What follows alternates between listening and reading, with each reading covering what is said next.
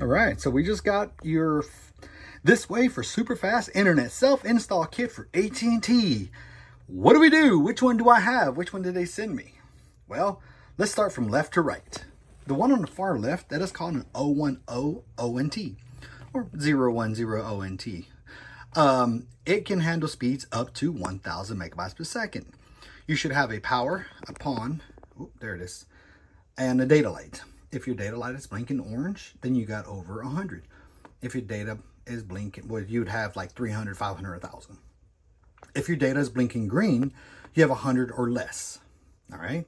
If you ever have an alarm that's red, consult your AT&T technician to come out and check it out because the signal could be broken. That is how it should look whenever you have it connected.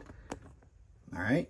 Say you got broadband, so DSL, um, what you call it, 100 bonded pair, 100 by 20, uh, 75 by 20, 50 by 10, 25 by 5, or even 18, 12, and 6. Hopefully you don't have those kind of speeds. Hopefully they've gotten fiber into your neighborhood or at least a, a bonded pair setup.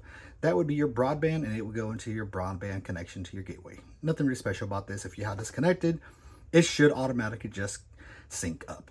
If it doesn't, consult 288-2020 and have them send a technician. And last but not least, which is the most favorite one of them all, is going to be the fiber uh, ONT. It's going to be your BGW320, which is going to be the one that comes in that box right there. All right, so it's going to be a white gateway BGW320 made by either Nokia or Humax. You're going to grab the other end of that fiber connection right there, that one there, and connect it into the green or red SFP that would be coming to your gateway. Uh, if you have a green one, that means you have a thousand or less. If you have a red one, that means you have 5,000 or less. If it does not work after plugging in, please consult AT&T to have them send out a technician because it's probably something you cannot fix. Other than that, thank you for coming to the channel. Hope this explained a little bit more on these self-install kits. Have a good one.